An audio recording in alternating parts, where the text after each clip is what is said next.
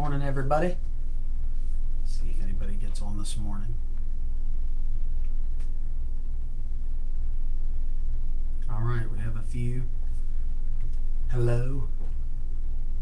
Try not to get distracted. I'm back in the office today, so I got people walking by my door. So, hope you all are doing well. Good morning.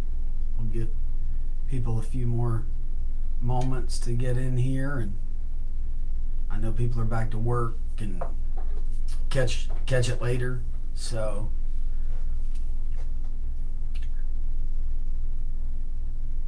all right. Sorry though. yeah, Pastor Andy C walked by my office to go into his office. I'm like, no, I can't. No distractions. Shiny thing. I can be like Dory from Finding Nemo at times. So uh, this morning, uh, one, I want to say I'm glad you're here and um, glad you are uh, with us for morning devotions. Um, before we get into it, we're going to pray, but I also want to remind you that starting next week, devotions will be at 9 o'clock on Tuesdays and Thursdays only. And then we'll have our normal service times on Sunday and Wednesday. Uh, but we're going to try to spread out and uh, we feel like we need to continue it, but we're going to change it up a little bit. So Tuesday mornings and Thursday mornings, nine o'clock right here, and then Wednesday evenings and uh, Sunday mornings at ten um, will be our normal service times. So with that, let us pray, and we'll get into the Word this morning. Dear Heavenly Father, God, we thank you for this day. Lord, we thank you for the sun that is shining beautifully, God. We thank you for keeping watch over us in the night hour. Lord, we ask you to, um, Lord, to be with us over the next few moments. Be with us today, Lord, no matter what we're walking through, Lord. And as we study your word, as we hear what you want to speak this morning, um, God, we ask you to just uh, do a new thing in our lives. And we give you praise and we give you honor. In Jesus' name, amen. So, uh, we are here. Look at look, oh, this is bad. This is super bad, y'all. I got I got my brother Andy, I got my brother Corey, and I got my brother Andrew all standing at the door, uh, distracting. got floating heads coming in.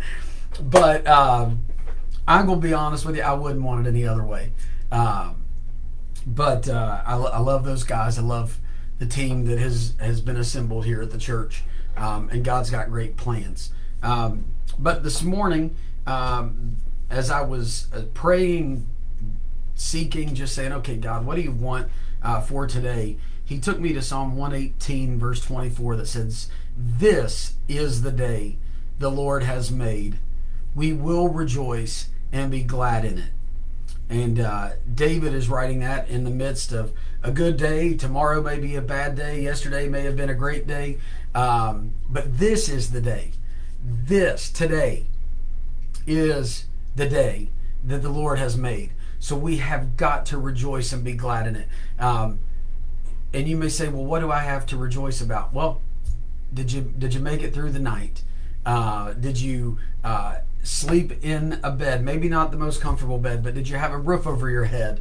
Did, is there food on the table? Um, was he your provision? Was he your protection? Uh, we have so much to be thankful for to say today, this day is the day that he has made. So I'm going to rejoice. No matter my circumstance, I will rejoice and be glad in it. And um, as I was uh, thinking about this passage, um, the Lord speaks to me through a variety of ways. Um, a lot of it is through music. Um, he'll hit me with a, a, song and, and speak to me through it. But last night, um, I was I was uh, laying in bed and I was thinking of this scripture, and um, I was reminded of uh, there was this movie several years ago, a cartoon movie called Kung Fu Panda, and uh, there was this turtle master ninja kung fu guy and uh, his name was Master Oogway. And in this movie, he said, Yesterday is history, and tomorrow is a mystery. Today is a gift, and that's why it's called the present. Today's the gift of a new day.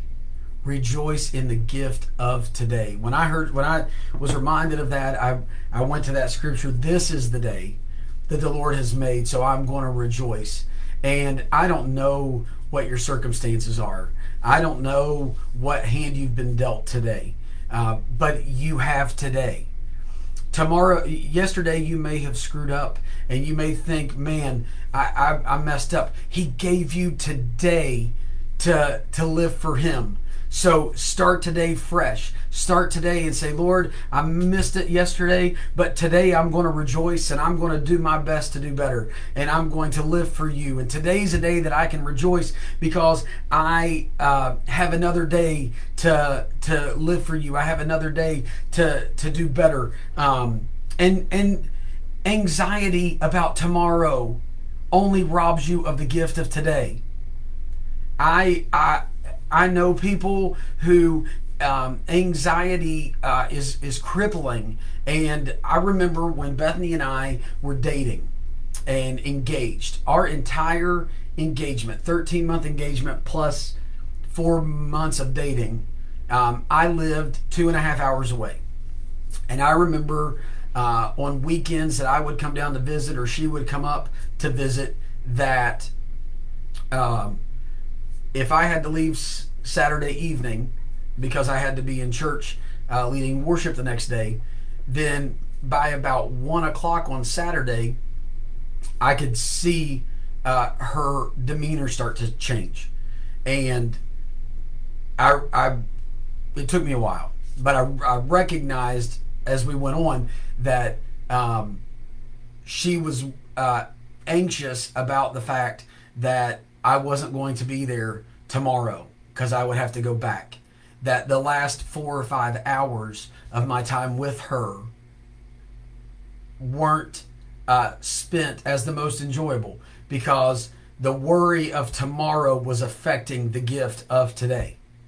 And that often happens in life. We worry about this, you know. Um, I have a doctor's appointment where it could be serious. I have I, I have to get my wisdom teeth cut out uh, on this date, so I'm going to be anxious until that. I, it, little things, I mean, small things can rob us of today. And the Bible tells us in Psalms, today is the day that He has made. So rejoice in it.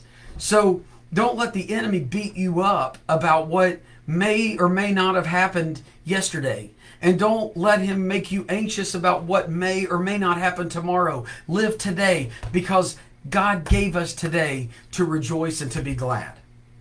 And so, um, I, I, like I told you, songs come to my head.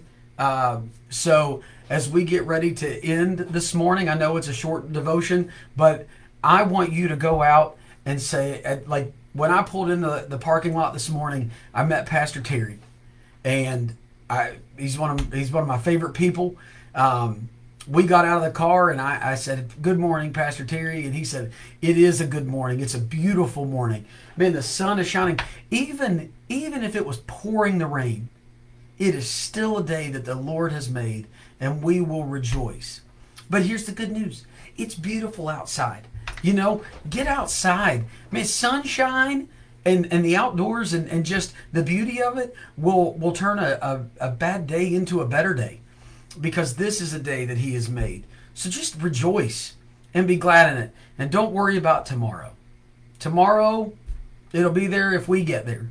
But we're not guaranteed tomorrow but we have today. So rejoice in it and be glad in it. And like i said uh, songs they they hit me so I remember I, I, I, will leave you with this song that says, This is a day, this is the day that the Lord has made, that the Lord has made. I will rejoice, I will rejoice and be glad in it, and be glad in it. This is a day that the Lord has made. You can even clap. We will rejoice and be glad in it. This is a day this is a day that the Lord has made. So that's my tune for you this morning. Thank you for being here. You were loved, you were appreciated.